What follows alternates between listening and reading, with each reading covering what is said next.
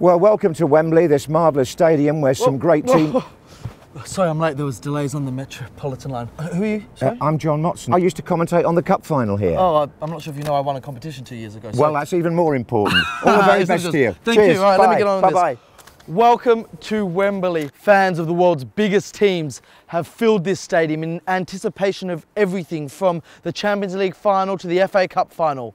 But this weekend, thousands will descend upon Wembley for two teams you probably haven't heard of and a tournament you probably haven't heard of, but you should because after 536 teams have competed in over 500 matches, two are left standing in competition for one of the world's biggest amateur tournaments, the FA Vase.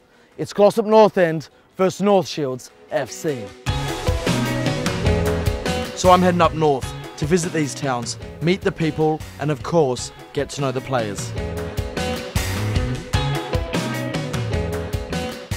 So here we are, Glossop. We're about 14 miles from Manchester. Looking around, you can really tell it's the kind of area where hard work and community means a lot to them. So when their football team makes the final, naturally they're going to get behind them. So much so that I've been told just around the corner on the high street, they've temporarily opened a club shop selling merchandise ahead of the big game. This shop, I mean, what's happened here? It's owned by Metrics Butchers. They've kindly loaned it to us for a period to sell merchandise and we've pretty much sold out of everything. What's the differences you've found in, in supporting your local club? You know the directors of the club, the volunteers of the club and there's a real connection. I've gone through um, quite a, a serious illness and the support that I've had from the club has been second to none. They came to hospital with the League Cup. I was in hospital when we won this cup. I was in hospital when we won this cup. And there's no way I'm going to be anywhere else but Wembley when we win the Vase. Uh, it's just unbelievable the sense of community you get just from hanging out with the guys there in the pop-up store. And if that hasn't proven enough just how behind the team the small town of Glossop is, right next door the butcher, I've been told, will show us. I hear you've been putting on quite the preparations ahead of the game. We have a pork pie that we make that's a national award winner, and what we've done is we've we've sprayed it blue. And Spread it blue. yeah, we sprayed it blue. Do you want to come and have a look? Yeah. All the local shops are behind them, and the local producers are all behind them. We're all backing them.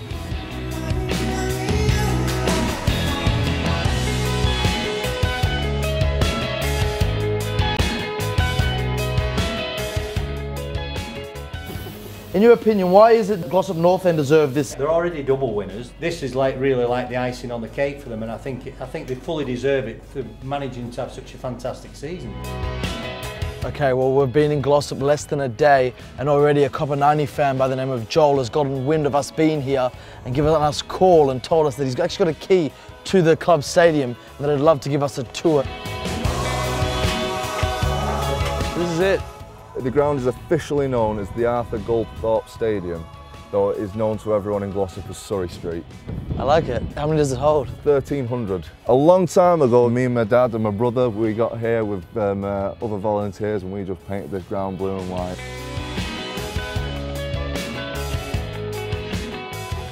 As long as I've been watching them, this is the best season we've ever had. The Premier League, you see people diving, you don't get any of that in this league. It's get, if, you go, if you go down, you've gone down for a reason.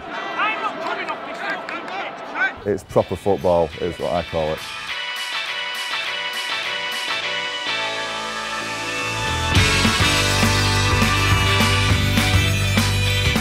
Now, usually with Copa 90, I'm used to covering training sessions during the day, as per professional clubs do. But these guys are amateurs, remember, they've got regular day jobs, and this is an amateur tournament, and you can really feel that it's a different kind of training session. There's a buzz, and if you listen closely, they're talking about Wembley constantly, comparing the pitch and the atmosphere. I Played for Glossop since I was six. I used to watch him have my own heroes at Glossop when I, when I used to go down with my dad and my brother. So uh, yeah, it's kind of uh, weird playing for the men's team and getting to Wembley uh, twice for myself. So I think there's five of us who played at Wembley last time. So uh, you know everyone everyone knows how big it is for the town. Last time, uh, even when we lost, we had an open top uh, tour in the town centre. Can you just uh, map out for me a bit of your, you know, your weekly uh, schedule? Get up at six, start work at quarter past seven, uh, finish at five, two, three times a week. We'll be training, so I'll come straight home, straight out to football, getting maybe 11, half 11 at night, and then repeat. We've been like pros this week. We've trained at Everton the other day. We're going to be training at Arsenal on Friday, so You just don't get to do that, do you? Now, Kevin, you're one half of the pair that's going to be the first identical twins to play at Wembley. Do you ever use that to play up on the opposition? To be fair, it's happened this season at Colm actually. I got booked once in the first half and he booked me on the stroke of half time and he thought of my brother, so I think. For me in particular, it's 24-7. Having worked at a professional club and see how it's done at the top level, you know, I like to try and instill it in the players uh, at the level that we're at. Everyone always wants to be a professional footballer and I think it's the nearest thing you'll ever get to be in professional football because not every professional footballer gets to play at Wembley. When we go to Wembley, I'll be sat on the top table with Greg Dyke, so it's just so different.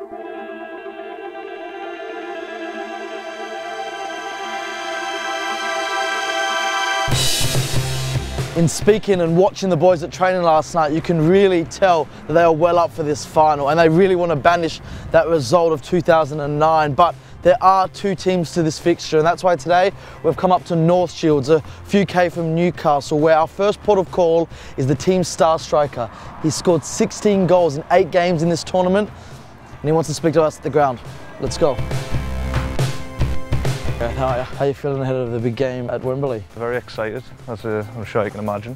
And uh, I'll probably be lying if I said I hadn't been dreaming about scoring. You just look at this, it's a great little uh, ground, but the difference is just as big as it gets. The difference sort of sums up the competition for non-league teams. It's, not just for myself, uh, for my teammates, it's for those people who come and watch those games on cold Tuesday nights and Saturday afternoon to almost repay them for all those years. What do you do for work?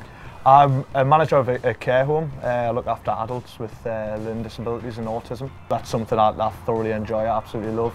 We've got plasterers, we've got barmen, we've got surveyors, we've got all sorts, we've got a few students in there. I actually hear that uh, you guys have got your own little ultras set up, is that right? Yeah, they stand just on the hill up there. They've named it the Curva Nord.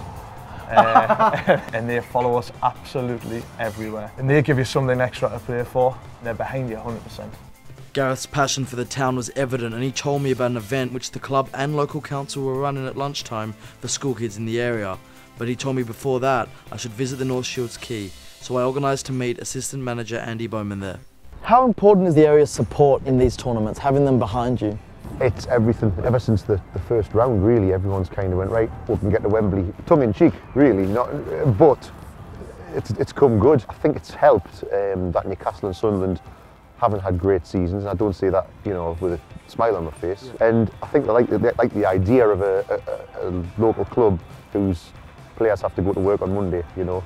While I was looking around the fish market, it didn't take long before I met a lifelong North Shields fan. You were at the last uh, final that North Shields made for the Amateur Cup or the FA Vase. Yeah, well it was called the FA Amateur Cup in, in the 60s when I went, that was 1969. We won the final 2-1 against uh, Sutton United and then here we are again nearly 50 years later and I never thought it would happen again so I'm absolutely delighted.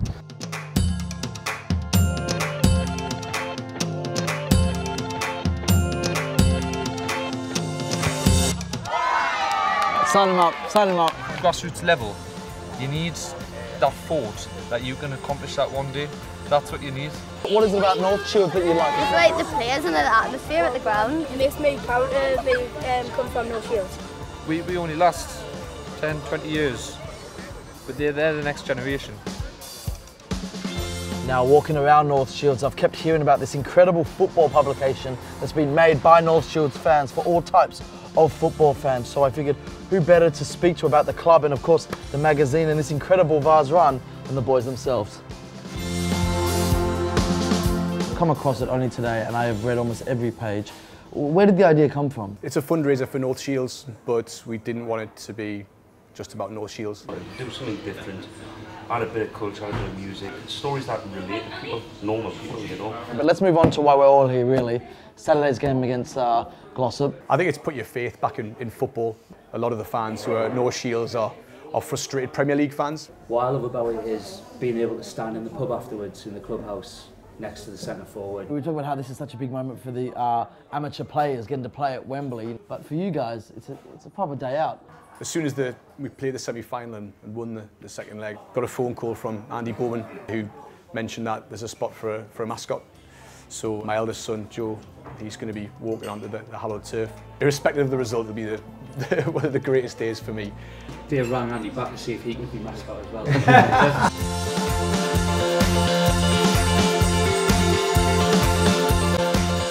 another training session, or as I should say, evening training session. This time we're training at Sunderland's official training grounds. They've given the boys a, a pitch that's as close as Wembley as possible for them to train on. And you can see, just like Glossop, can't wait for Saturday. Loads of people sending text messages, tweeting, Facebook wishing us good luck. I've said to a lot of people, this, this area is unique to football. And when situations like this arise and that, we all want to muck in and help each other. For any team from the North East, no matter what state, standing or status you play at, to get the opportunity to play at Wembley, you deserve a massive pat on the back. Sometimes it'll be pouring down the rain on a cool December night, we're playing a rubbish team and there'll still be three, four hundred there. Like I say, without them coming and paying that money to watch, we this, this wouldn't be possible. All right, well, that concludes our tour of the North and our discovery into two incredible teams taking part in one hell of an amateur tournament. Glossop, North Shields, I really couldn't pick a winner, but what I can tell you is both of them really have taken us aback with their hospitality, their sheer passion for football and their football club. So all that's left to do now is to head to Wembley, where we'll be followed by thousands of fans dreaming of bringing the trophy home.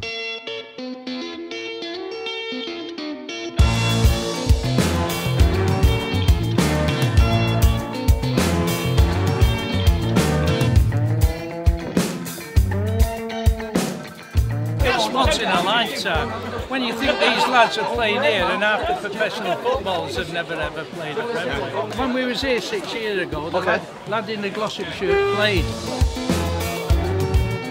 My understanding is you're an ex-player. You played in the 2009 final. Yeah. What do you think they're going through right now? A bunch of amateur players about to take the field at Wembley. Probably the same thing we were going through in 2009.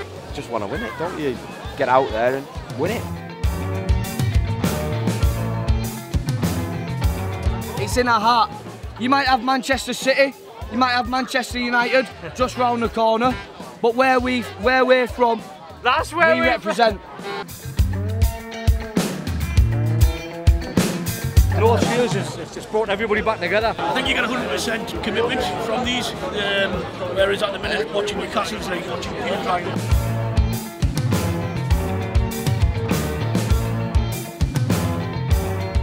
age, we're not really going to probably see Newcastle go to Wembley, so like I say, it's a day out to Wembley, and local teams nothing better than people who actually have passion for the game.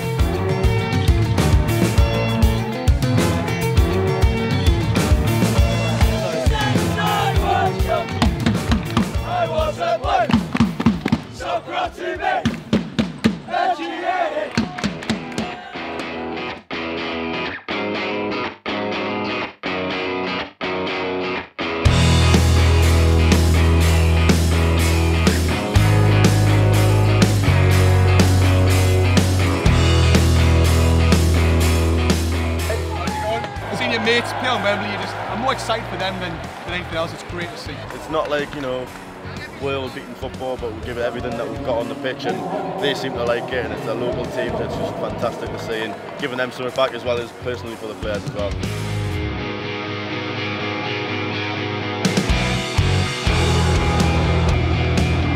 The players are walking out, the fans are on their feet.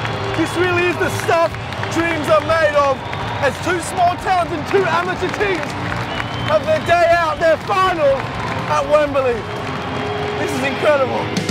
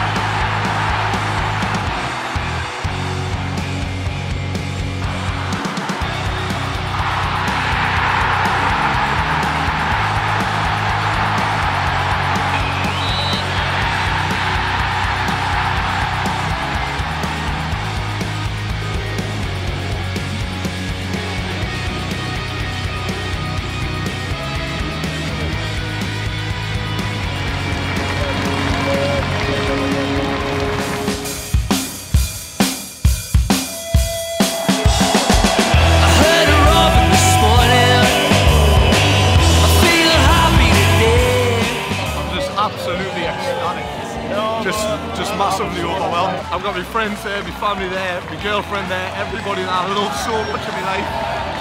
That's, that's brilliant, mate. To give people who support local teams the chance of coming to Wembley, um, it's hugely important that just this occasion doesn't stay with the top teams. It comes to other places, other people who can come and support the local sport. And so it ends with a bunch of McDonald's managers, glass fitters, plumbers and teachers at Wembley celebrating the final with the people that call them their heroes, their local town. If that doesn't show what amateur local football is all about, I don't know what does. If you enjoyed it, make sure you subscribe to Copa 90 where from local football in North Shields to Wembley, the game never stops.